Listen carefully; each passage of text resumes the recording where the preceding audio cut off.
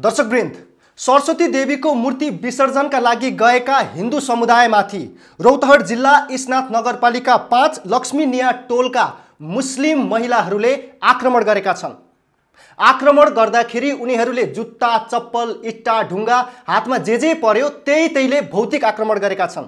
साथसाथै अचम्मको कुरा के छ भने सुरक्षामा खटिएका सुरक्षा प्रहरीमाथि पनि उनीहरूले आक्रमण गरे।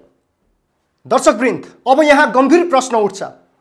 कुनै पनि बाटो कसैको व्यक्तिगत सम्पत्ति हो या साझा सम्पत्ति हो।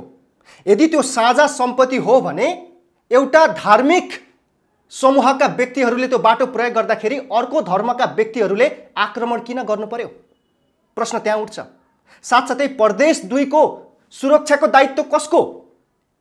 यदि सुरक्षा दिने प्रहरी नै सुरक्षित छैनन् भने आम नेपाली जनता कसरी सुरक्षित रहलान्? प्रश्न त्यहाँ उठेको छ। मुख्यमन्त्री लालबाबु राउत। यो धार्मिक द्वन्द्व हुँदाखेरि यो धार्मिक झडप हुँदाखेरि किन मौन छन् किन चुपचाप छन्? साथसाथै जनता समाजवादी पार्टीका नेता नेतृत्वहरू पनि किन चुपचाप बसिरहेका छन् यो उनीहरूको दायित्व हो कि होइन? प्रश्न उठेको छ। मुख्यमन्त्री लालबाबु राउत मुस्लिम समुदायको मात्रै मुख्यमन्त्री हुन् या अन्य धर्महरूको पनि मुख्यमन्त्री हुन्? यदि हिन्दू धर्मावलम्बीहरू अथवा अन्य धर्मावलम्बीहरूको पनि मुख्यमन्त्री हुन् भने बारम्बार हिन्दू चाडपर्वको बेला मात्रै दङ्गा किन मचिन्छ? किन आक्रमण हुन्छ? किन झै झगडा हुन्छ? उनी आफ्नो दायित्वबाट किन पछाडि हट्दैछन्? शङ्का उत्पन्न भइसकेको छ। छठ पर्वको बेलामा पनि आक्रमण भएको छ। दसैँ तिहारको बेलामा पनि आक्रमण भएको छ। साथसाथै हुँदा हुँदा सरस्वती पूजाको दिन पनि यस्तो आतङ्क फैलिरहेको छ। मुख्यमन्त्री लालबाबु राउत यो विषयमा प्रष्ट जानकार छन्। तर पनि यो विषयलाई किन नजरअन्दाज गरिरहेका छन्?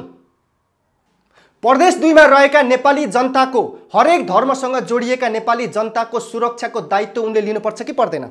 उनी किन पछाडि हटिरहेका छन्? यो कारणले गर्दाखेरि पनि उनीमा प्रश्न उठ्न थालिसकेको छ। अब उनको नियतमाथि नै शङ्का गर्ने ठाउँ बसिसकेको छ।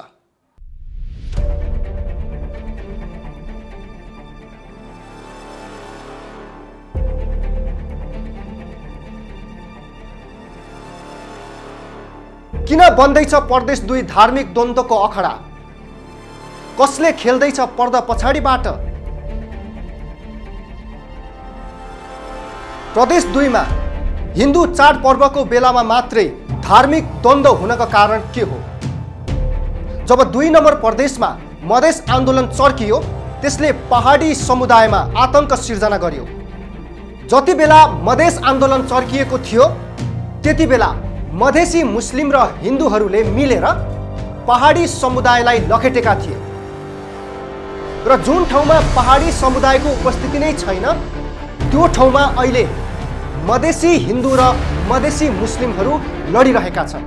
यसबाट के बुझिन्छ भने पहाडीहरूलाई मधेसबाट लखेटिनुको कारण चाहिँ मधेसी हिन्दू र मधेसी मुस्लिमहरूलाई एक आपसमा लडाउनका लागि रहेछ भन्ने बुझिन्छ। त्यसो होइन भने जहाँ पहाडी बस्ती छ त्यहाँ धार्मिक द्वन्द्व किन हुँदैनन्? र जहाँ पहाडी बस्तीहरू छैनन् त्यहाँ मात्रै धार्मिक द्वन्द्वहरू किन भइरहेका छन्? यस्तो हुनुको दोस्रो कारण खुकुलो नागरिकता नीति पनि हो।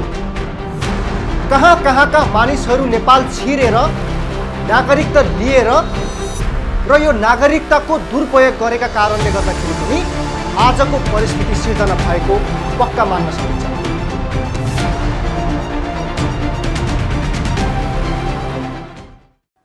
दर्शकवृन्द अचम्मको विषय त के छ भने यो गम्भीर विषयमा कोही पनि बोल्न तयार छैनन्।